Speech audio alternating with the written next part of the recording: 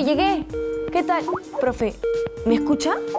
Hola Valeria, qué bueno verte de nuevo. Lamento mucho no poder estar allá, pero tengo que hacer un proyecto muy importante para la comunidad científica. ¿Pero qué te pasó? ¿Por qué estás vendada? Profe, ¿qué tal? Lo que pasa es que me lesioné en mis clases de educación física mientras hacía ejercicio. Más piña. Ay, Valeria, tienes que tener más cuidado, pues.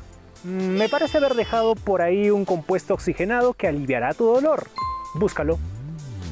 ¿Un compuesto oxigenado? ¿A qué se refiere, profe? Me refiero al éter, un compuesto oxigenado que generalmente viene en spray. Debo haberlo dejado en el set. Profe, éter, pero ¿qué es eso? No te preocupes, porque hoy estudiaremos las funciones oxigenadas y conoceremos mucho más sobre el éter. Vamos. Las funciones oxigenadas son aquellas que poseen átomos de oxígeno, además del carbono y el hidrógeno. Se caracterizan porque son solubles y estables. En este grupo están los alcoholes, los fenoles, éteres, aldehídos, cetonas, ácidos carboxílicos y ésteres. Estos son derivados orgánicos del agua, es decir, si en su estructura molecular uno de los hidrógenos es cambiado por un radical oxidrilo, se produce el alcohol. Si se cambia por un anillo aromático, se produce un fenol. Y si los dos hidrógenos son cambiados por un radical alquilo o aromático, se forman los éteres. En otras palabras, los alcoholes son compuestos que presentan un radical oxidrilo o hidroxilo, unidos a un átomo de carbono de una cadena hidrocarbonada. Los alcoholes se clasifican según la cantidad de grupos oxidrilos que pueden obtener en la cadena carbonada. Además, poseen propiedades físicas. Por ejemplo, no son buenos conductores de electricidad. Los principales alcoholes son el metanol. Este es tóxico, produce ceguera o muerte si se consume y es utilizado como combustible. El etanol, o alcohol etílico, es líquido y volátil. Se emplea para producir licores y perfumes. Y el propanotriol es líquido, dulce y espeso. Se usa como disolvente. Continuando con la clasificación de las funciones oxigenadas, los fenoles son compuestos orgánicos que se obtienen cuando uno de los hidrógenos de la estructura molecular de los hidrocarburos aromáticos se sustituye por el grupo hidroxilo. ¿Y cuáles son sus propiedades físicas y químicas?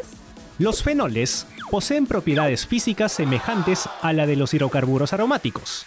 Por ejemplo, bajo peso molecular y solubilidad en el agua.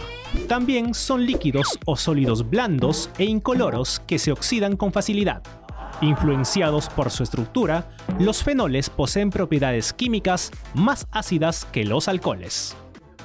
Mientras que los éteres se forman por dos radicales alquilos o aromáticos unidos entre sí mediante enlaces a un átomo de oxígeno.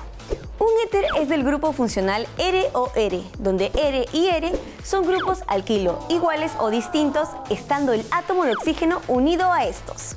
Los éteres son incoloros y suelen ser estables, no reaccionan fácilmente y a menudo son utilizados como disolventes orgánicos. Sin embargo, son muy volátiles al aire o inflamables y necesitan de mucho calor para descompensarse y reaccionar con algunos metales.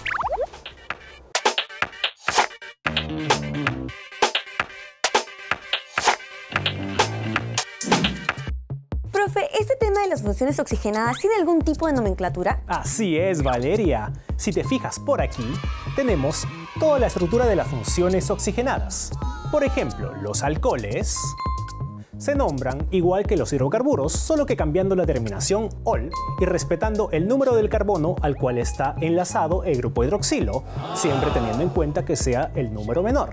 Por ejemplo, tenemos esta cadena de cuatro carbonos. El grupo hidroxilo está unido al carbono 2, por ende su nombre será el 2-butanol. Esta cadena de 5 carbonos tiene unido al grupo hidroxilo en el carbono 1 y aquí un radical metil. Su nombre será 4-metil 1-pentanol. Profe, entonces para nombrar fenol se utiliza la misma terminología el hidrocarburo que lo procede. Solo se cambia el nombre de benceno por fenol. Mm. Y también con su radical. Así es, Valeria, correcto. Ahora, en el caso de los ésteres, que provienen de la reacción química entre un ácido carboxílico y un alcohol, y se nombran como si fueran sales, del ácido del cual provienen, seguidos por el nombre del alquilo que está unido al oxígeno. Por eso es que este compuesto se llamará el propanoato de etilo. Profe, ¿y los ésteres no son los que gracias a su reacción química le dan aromas a los jabones y esencias, cierto? Exacto, Valeria. Son aromas artificiales. Por ejemplo, el acetato isoamílico le da el olor y el sabor al plátano.